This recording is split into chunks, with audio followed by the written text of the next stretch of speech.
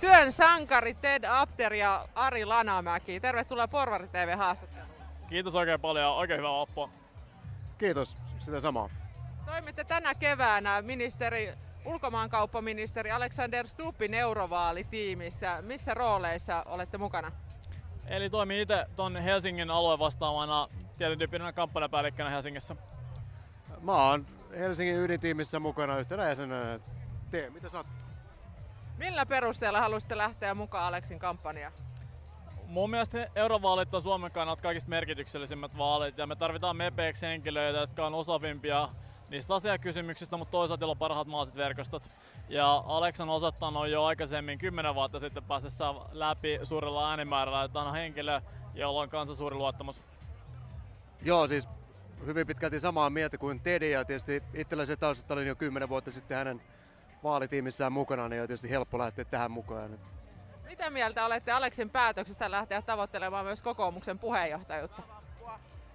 No tota, mun mielestä oli odotettu päätös ja kyllä mä häntä tuen. Hän on hyvä kaveri monen eri tehtävään.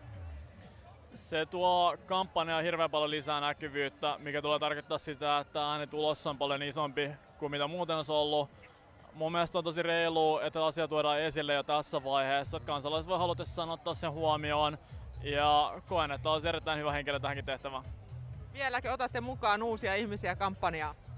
Totta kai, siis ihan, ihan loppuun saakka, että nythän tämä vasta oikeastaan alkaa, että täytyy muistaa, että nämä eurovaalit tulee olemaan kampanjoita todella lyhyet ja toiseksi se, että Alex on itse tekemässä todella lyhyen kampanjan johtuen siitä, että hän on ministeri, niin kyllä meillä siis todellakin tilaa on vielä ja tarvitaan lisää aktiivisia ihmisiä kyllä mukaan.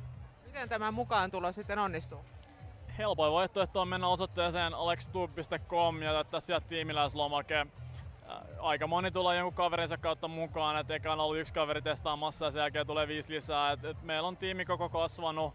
Toisaalta nuorten keskuudessa huomaa nyt, että esitteiden jakaminen ei ehkä ole se kaikista glamurein tehtävä, mutta niitä tarvitaan. Onnea kampanjointiin. Kiitokset. Kiitos paljon.